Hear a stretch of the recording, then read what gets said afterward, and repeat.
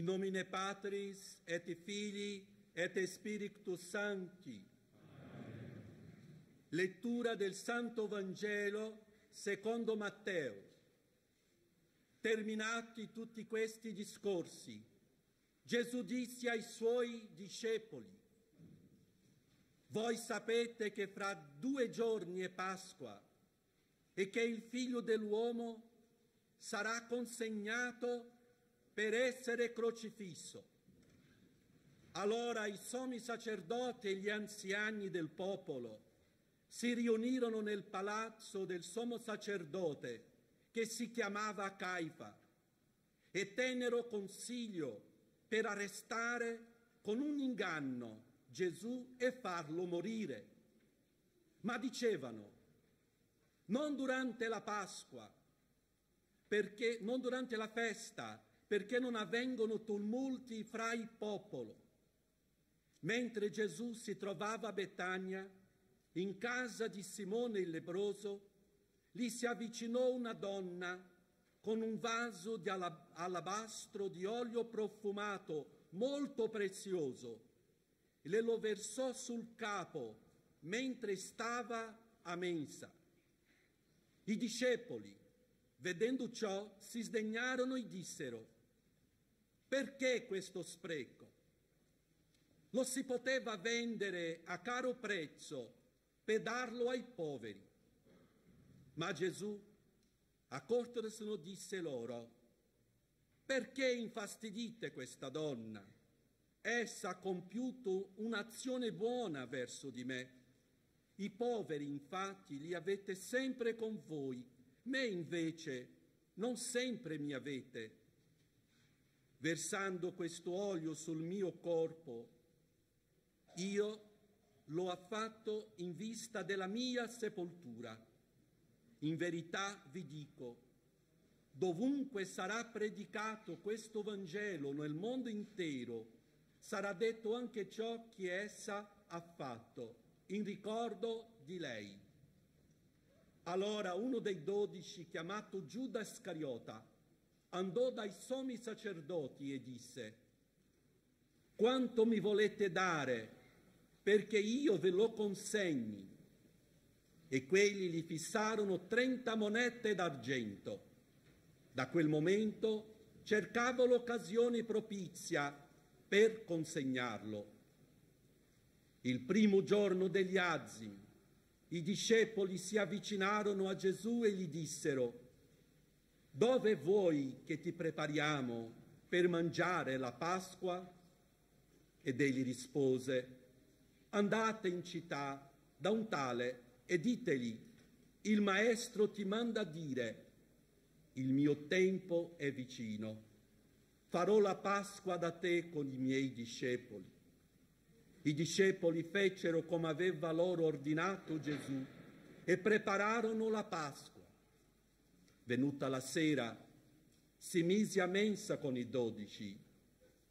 Mentre mangiavano disse, in verità io vi dico, uno di voi mi tradirà. Ed essi, addolorati profondamente, incominciarono ciascuno a domandargli, sono forse io, Signore?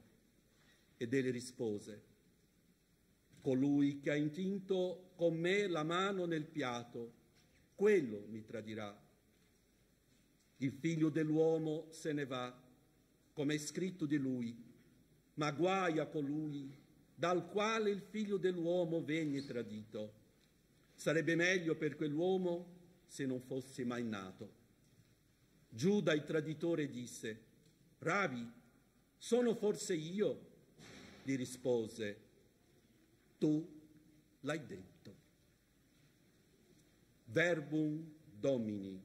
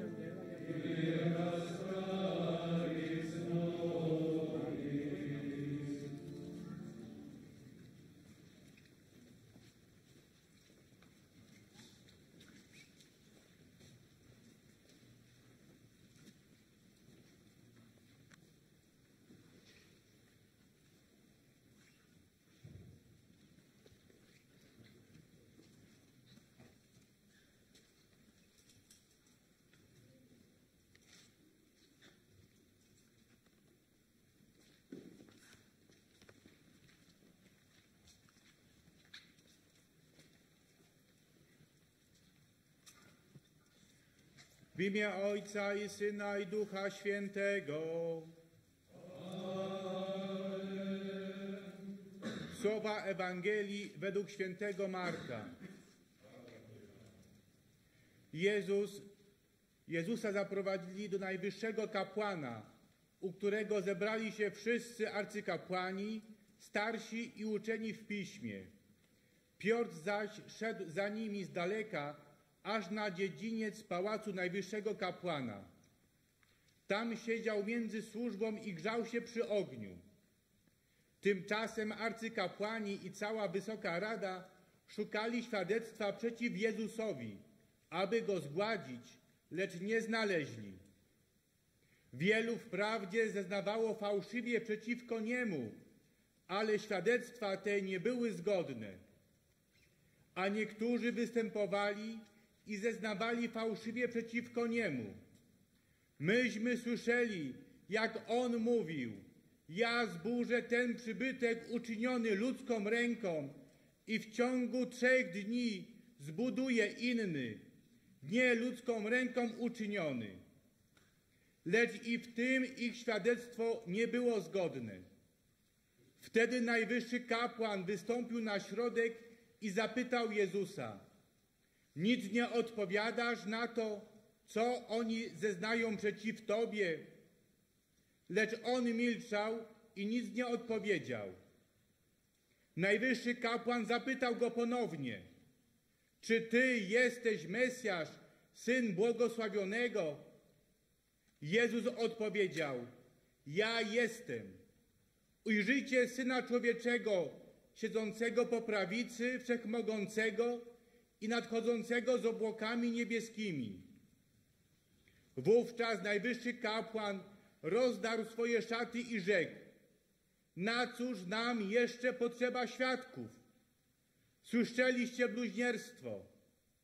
Cóż wam się zdaje? Oni zaś wszyscy wydali wyrok, że winien jest śmierci. I niektórzy zaczęli pluć na niego, zakrywali mu twarz, policzkowali go, mówili: Prorokuj. Także słudzy bili go pięściami po twarzy. Kiedy Piotr był na dole na dziedzińcu, przyszła jedna ze służących najwyższego kapłana. Zobaczywszy Piotra grzejącego się przy ogniu, przypatrzyła się mu i rzekła: I tyś był z Nazarejczykiem, Jezusem. Lecz on zaprzeczył temu, mówiąc: Nie wiem i nie rozumiem, co mówisz. I wyszedł na zewnątrz do przedsionka, a kogut zapiał.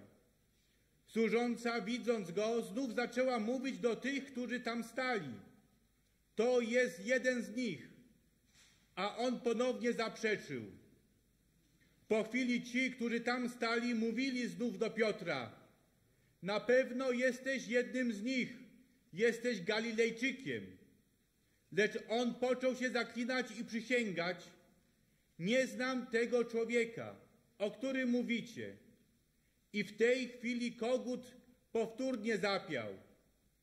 Wówczas Piotr na słowa, które mu powiedział Jezus, pierwej nim kogut dwa razy zapieje, ty się mnie wyprzesz. I wybuchnął płaczem. Verbum Domini.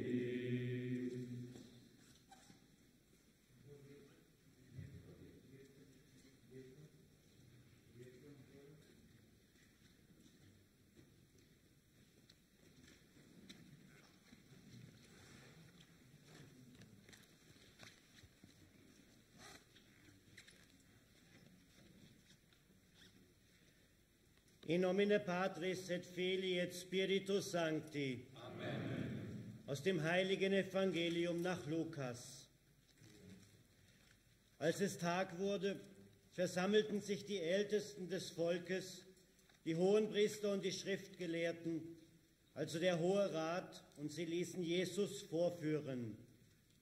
Sie sagten zu ihm, wenn du der Messias bist, dann sag es uns.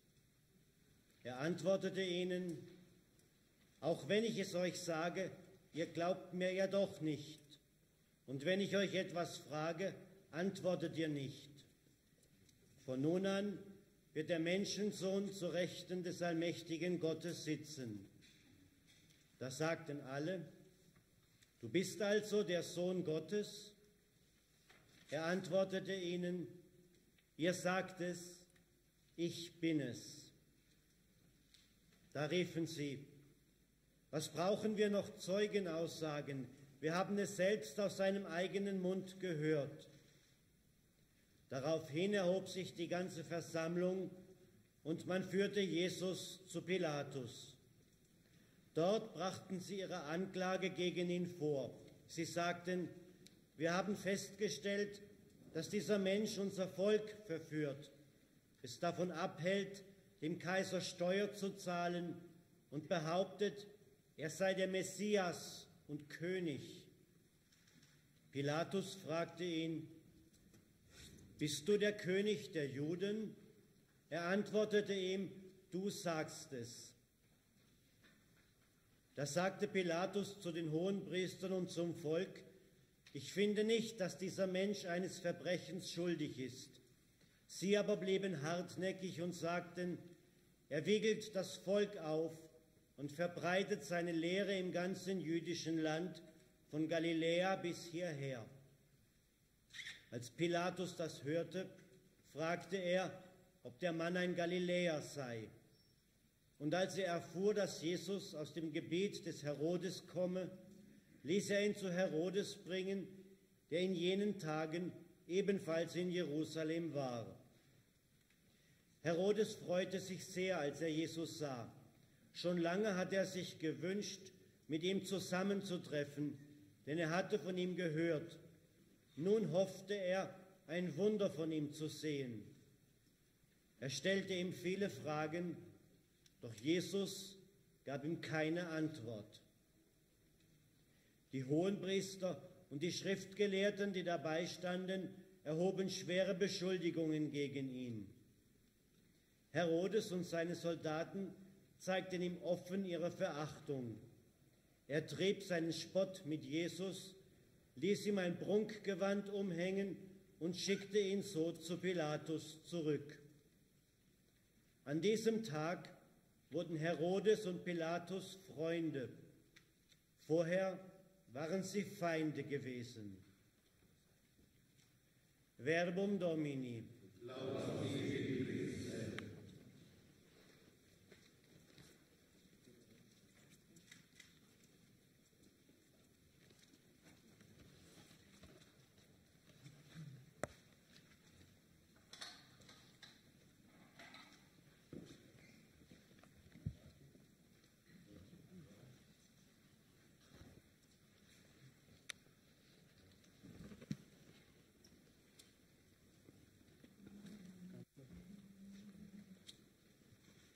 Amen.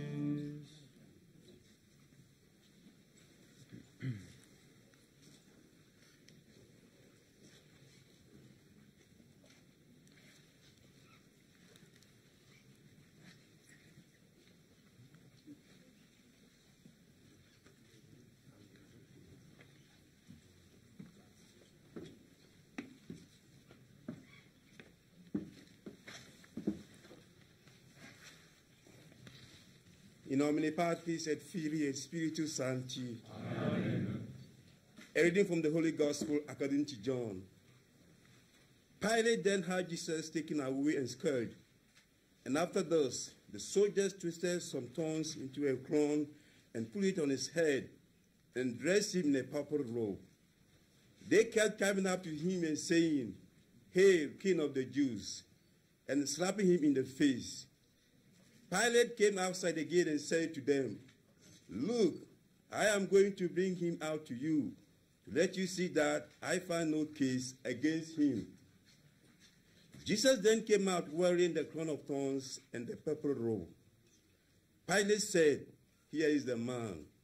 When they saw him, the chief priests and the guards shouted, Crucify him! Crucify him! Pilate said, Take him yourself and crucify him. I find no case against him. The Jews replied, We have a law, and according to the law, he ought to put to death because he has claimed to be the Son of God. When Pilate heard them say this, his fears increased. Re entering the praetorium, he said to Jesus, Where do you come from? But Jesus made no answer. Pilate then said to him, Are you refusing to speak to me? Surely you know I have power to release you and I have power to crucify you. Jesus replied, You would have no power over me at all if it had not been given you from the above. And that is why the man who handed me over to you has the greater guilt. From that moment, Pilate was anxious to see him set free. But this, the Jews shouted, If you set him free, you are no friend of Caesar's. Anyone who makes himself king is defying Caesar. Hearing these words, Pilate had Jesus brought out and seated him on the chair of judgment at a place called the pavement in Hebrew, Gabbatha. It was the day of the preparation, about the sixth hour. Here is your king, said Pilate to the Jews. But they shouted, Away with him! Away with him! Crucify him! Pilate said, Shall I crucify your king? The chief priest answered, We have no king except Caesar. So at that, Pilate handed him over to them to be crucified. Verbum Domini.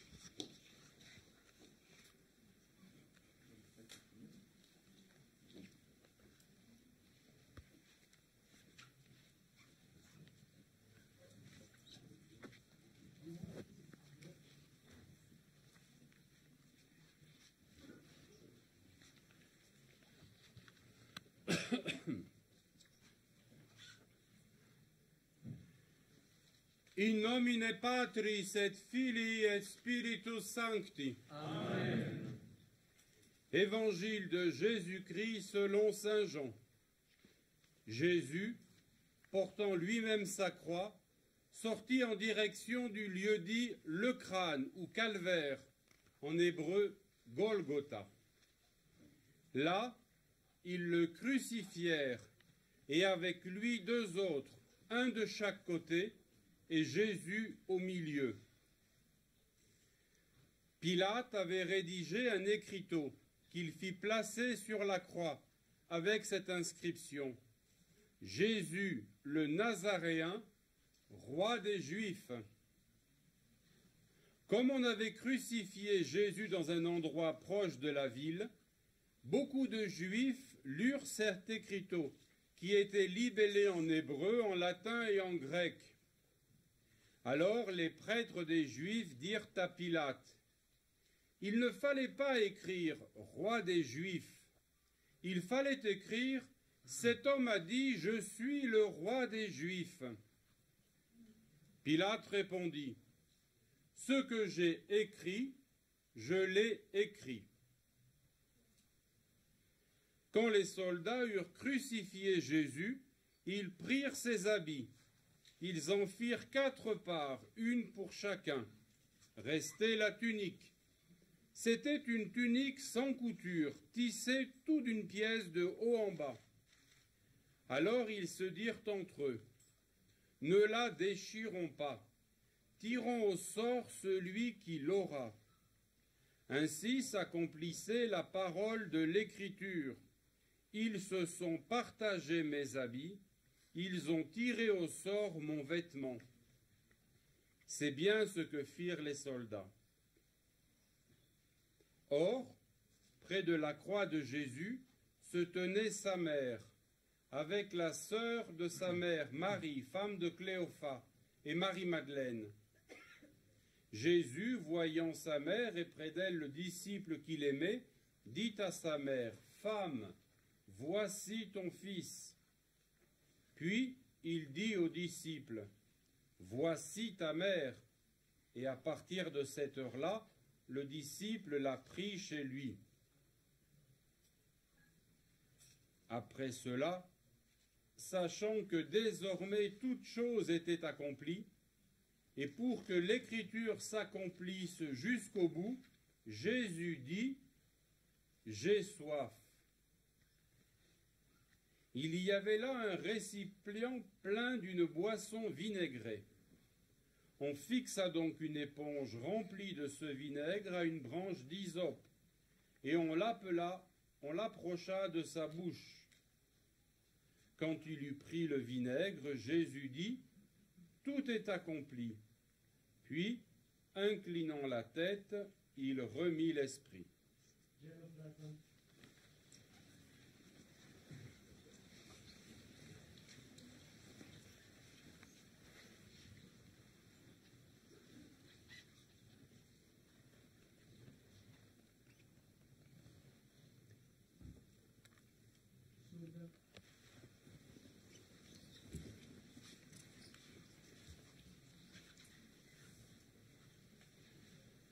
Comme c'était le vendredi, il ne fallait pas laisser des corps en croix durant le sabbat, d'autant plus que ce sabbat était le grand jour de Pâques.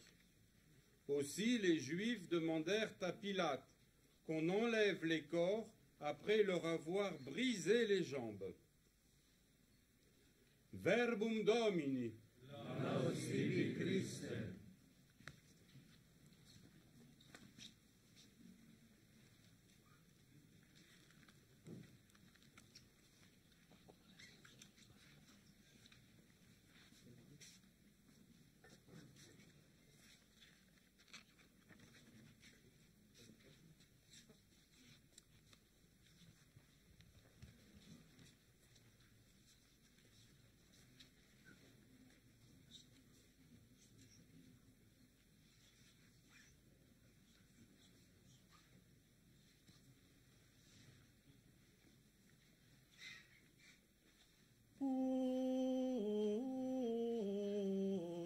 alte, rogavit Pilatum Iosefa Barimatea, Εοκόδε σε δισcipulus Ιησούς, ο κουλτούς αυτεν προπτερ με τουμ Ιουδεόρου, ου τολερέτ κορπούς et permissit Pilatus. Venit ergo et tulit corpus Iesu venit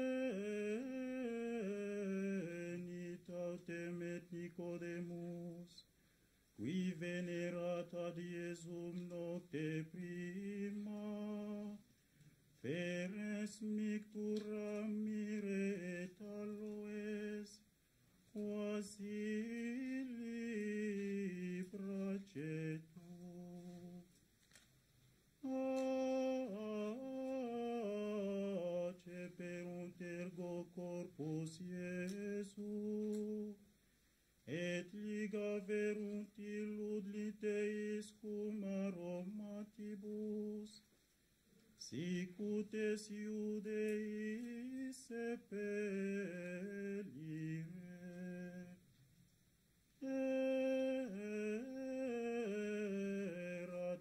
autem in loco, ubi crucifixus es ortus, et in morto monumentum novum, in quo nodum quisquam positus erat. Ebi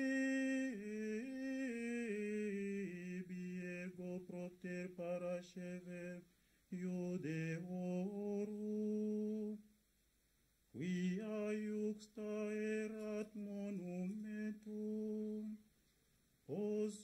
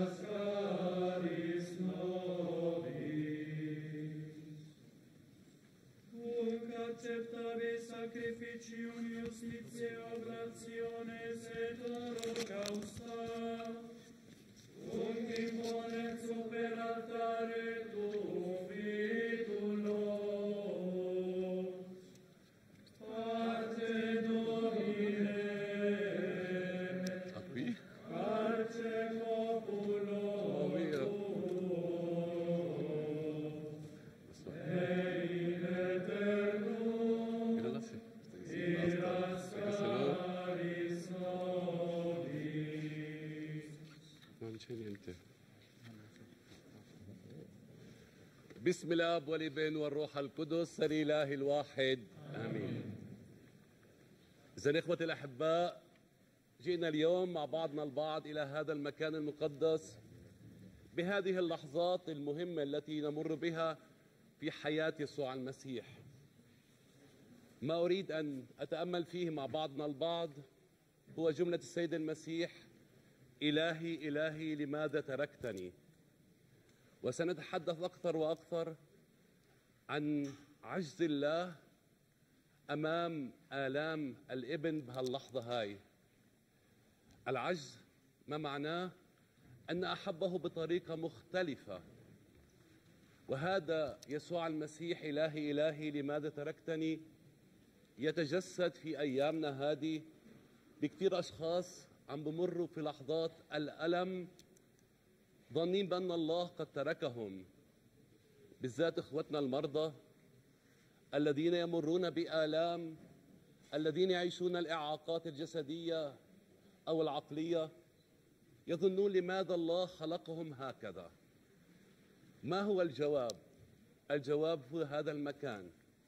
يسوع جسده في هذا المكان لكي يعبر لهم بأن في هذا المكان هو أيضا شعر ما يشعرونه في هذه اللحظات وما يعيشونه في هذه اللحظات. ولذلك علمهم أمرين حتى يعيشوا هذه اللحظة. اولا أن يقولوا اغفر لهم يا أبتي لأنهم لا يعرفون ماذا يفعلون. وهذا الغفران الذي يطلبونه من هؤلاء الأشخاص المتألمين من أقاربهم ومن بالذات من أقرب الأقارب اللي في مرات كثيرة من أجل أنهم عندهم الإعاقة والداتهم أمهاتهم رفضوهم وطلبوا بإجهاضهم. أشخاص يتألمون والجميع يتركهم في آلامهم يمرون في ألم الوحدة والخوف والقلق. فماذا عليهم؟ يفعلونه إنهم يعيشون على مثال يسوع يقولون بأنهم يسامحون هؤلاء الأشخاص يسامحونهم من كل قلوبهم لأن بمسامحتهم يعرفون كيف يعيشون المدرسة الثانية من يسوع المسيح في هذا المكان. عندما قال يا رب بين يديك أسلم روحي. في هذه اللحظة اكتشف من خلال الغفران بأن ما يمر به هو ليس أن الله تركه بل هي علامة حب إلهي للبشرية. يعيشون على مثال الإبن في أنهم يحملون أثقال البشرية ككل من خطاياهم. لم يكونوا هم الذين قد اقترفوا تلك الخطايا. كذلك ابن الله لم يكن هو الذي اقترف الخطايا ولكن هو أخذ بمشيئته أن يتمم سر الخلاص لكي يعيد البشرية من جديد لله. وهؤلاء الأشخاص بدورهم يتممون ما ينقص من آلام المسيح كما يعلمنا القديس بولس بآلامهم بصمتهم بتسليم ذاتهم. يقدمونها لله. فيصبحون هم بدورهم. على مثال الابن الذين يستطيعون أن يشهدوا له كل من يرى في ذاك التسليم ما استطاع أن يراه قائد المأة عندما قال كان هذا ابن الله حقا وبذلك هم يصبحون بدورهم تجسيدا لابن الله بتسليم ذاتهم لتلك لله حتى يتممون ما ينقص من آلام يسوع المسيح من أجل البشرية. فنصلي اليوم إذا أيها الإخوة من أجل إخوتنا الذين يعيشون هذا الألم. حتى نكون نحن بدورنا القيروان الذي يحمل معهم الصليب.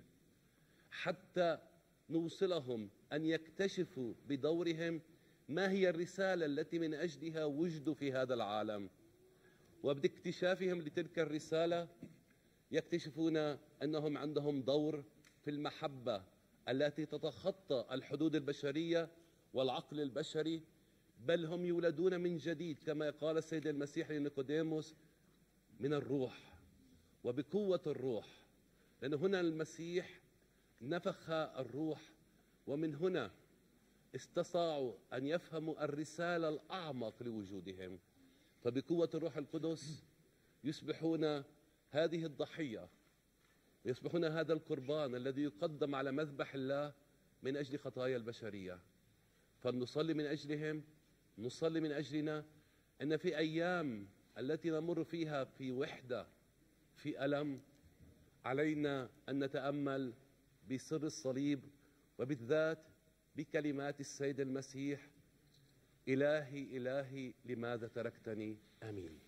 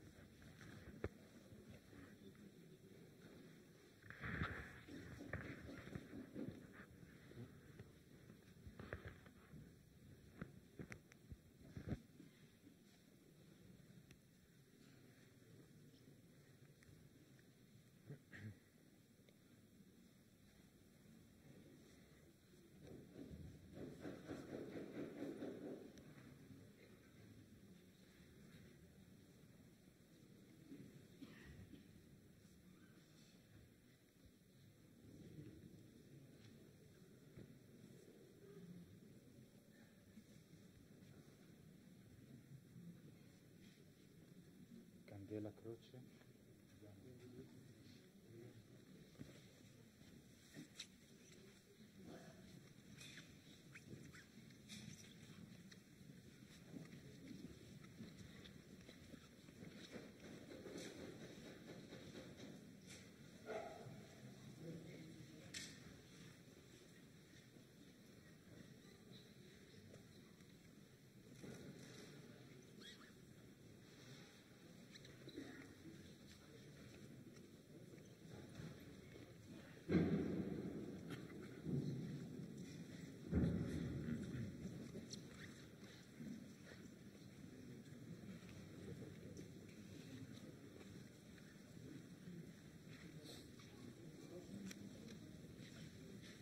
Carte Domine.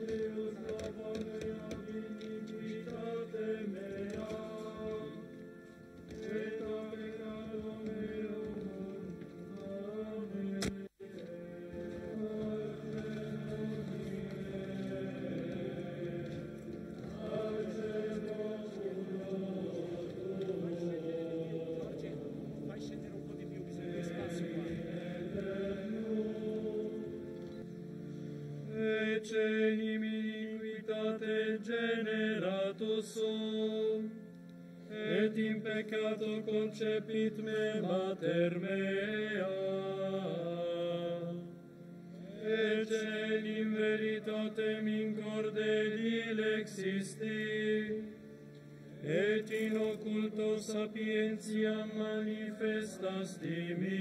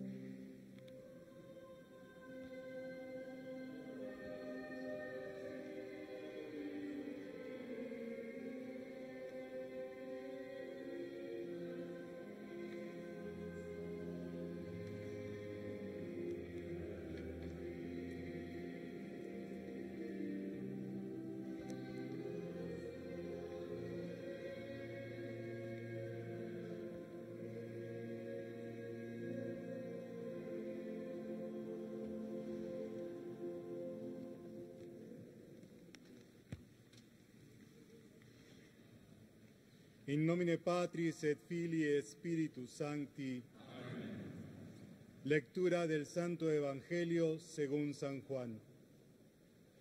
Después de esto, José de Arimatea, que era discípulo clandestino de Jesús, por miedo a los judíos, pidió a Pilato que le dejara llevarse el cuerpo de Jesús. Y Pilato lo autorizó. Él fue entonces y se llevó el cuerpo.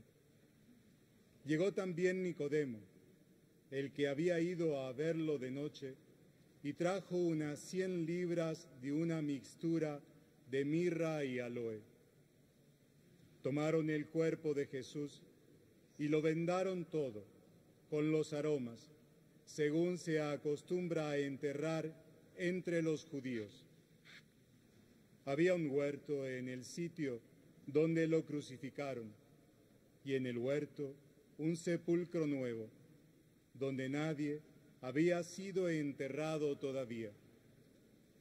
Y como para los judíos era el día de la preparación y el sepulcro estaba cerca, pusieron allí a Jesús. El primer día de la semana, María Magdalena fue al sepulcro al amanecer, cuando aún estaba oscuro, y vio la losa quitada del sepulcro. Echó a correr y fue donde estaba Simón Pedro y el otro discípulo, a quien quería Jesús, y le dijo, se han llevado del sepulcro al Señor y no sabemos dónde lo han puesto. Salieron Pedro y el otro discípulo camino del sepulcro. Los dos corrían juntos, pero el otro discípulo corría más que Pedro. Se adelantó y llegó primero al sepulcro. Y asomándose, vio las vendas en el suelo, pero no entró. Llegó también Simón Pedro detrás de él y entró en el sepulcro. Vio las vendas en el suelo y el sudario con que le habían cubierto la cabeza, no por el suelo con las vendas, sino enrollado en un sitio aparte. Entonces entró también el otro discípulo, el que había llegado primero al sepulcro, vio y creyó, pues hasta entonces no habían entendido la escritura, que él había de resucitar de entre los muertos. Los discípulos entonces volvieron a casa. Verbum Domini.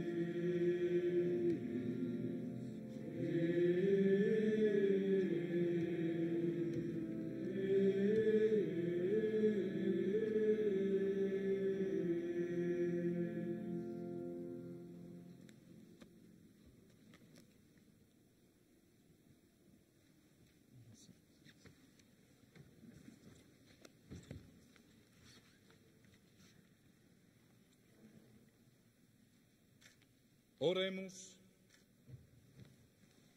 Respice quesumus Domine, super anc familiam tuam, pro qua Dominus noster Iesus Christus, non dubitavit manibus trad innocentium, et crucis subire tormentum. Amen. Amen.